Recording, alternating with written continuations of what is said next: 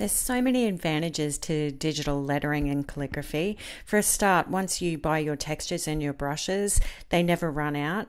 So within the Apple Pencil itself, you've got endless amounts of styles that you can use without the need for physical storage space. And you don't have those consistent costs like pen and paper or paint. It's completely mess free, totally portable, and the list goes on. But there are those occasions that rather than printing something, you do really want that handmade look and feel. So today I'm going to show you how it's possible to use your iPad as a lightbox so you can transfer your digital lettering onto paper. With this approach, you can have all the advantages of refining your work using layers in Procreate. And once you're happy with the result, we can disable the iPad screen functionality and use it as a lightbox to trace the design onto paper. This is a really convenient way to make sure that you have your artwork completely refined before you take those steps to take it to physical paper. So you could save out your final design as a PNG, but what I found happened was when I opened it in the Photos app,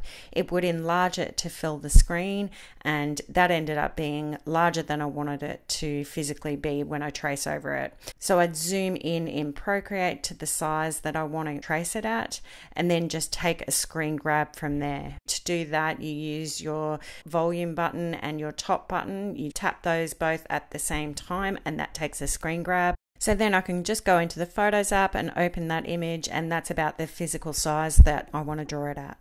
So now we have our design ready. I'll show you how to turn on guided access to lock your iPad.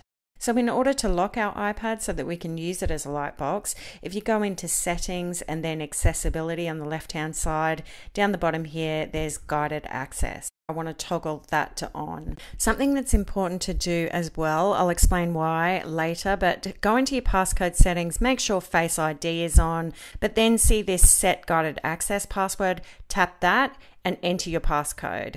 I'll tell you why in a second, but just for now, trust me, that is an important step to do. Right, so we're all set up. Now we just go back into photos and open the image that we're going to trace. And now we just press the top button three times and that will initiate guided access. If you haven't used it before, you'll get a start button at the top right and you just simply tap start. And now you can see here the iPad is completely locked. You can't move the screen at all. So now we're ready to go and we can trace over the design. So I suggest quite a thin paper to start with. You can always transfer onto something heavier later, but I'm using a 70 GSM paper, this Daler-Rowney paper. And I use a Staedtler lead holder pencil to trace the design. But a word of warning here as well you want to be really careful with the tracing part, obviously, because you don't want to puncture through the paper and scratch your iPad. So be careful that the lead that you're using in your pencil is, is soft and you're not pressing too hard as to sort of go through and indent your iPad screen. So this is definitely, you know, something to really keep in mind. And then I just go over it with a micron pen. So these are very good archival ink quality pens and they vary in width. So I've got a three here and an eight. So I would just outline with the three with that finer size and then fill it in with the eight. And then I cut out the design and was able to produce something handmade.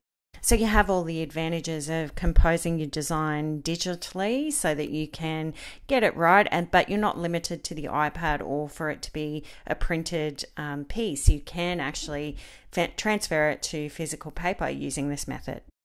So you remember I mentioned earlier there was an important step for your passcode. So the reason I said that is because when I did it, I got stuck. So you basically tap the button at the top three times and the passcode screen comes up.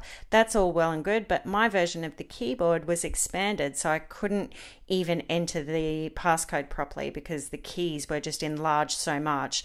Didn't matter whether I changed the orientation of the iPad or um, I troubleshooted with Apple on the for quite some time to try and get through this issue, but it turned out that I was able to force restart. So if you do get stuck, know that you can get out of it just by doing a force restart, and that's volume up once, volume down once, and then hold on the top button and that will um, bring up the turn off iPad screen. You just slide the slider and it will turn off, and then you can restart your iPad. So don't worry if you do get stuck, you can do that. But as I said, follow that step in the guided access settings. So there's this passcode settings, tap that, and then set guided access passcode. Enter your passcode, and you should be good to go. I hope you enjoyed this video. If you did, please give it a thumbs up and subscribe for more content like this. If you're interested in learning more about digital calligraphy, you can head to ipadcalligraphy.com forward slash free, where you can download your free starter kit. I hope you enjoyed that, and I hope to see you again soon. Bye for now.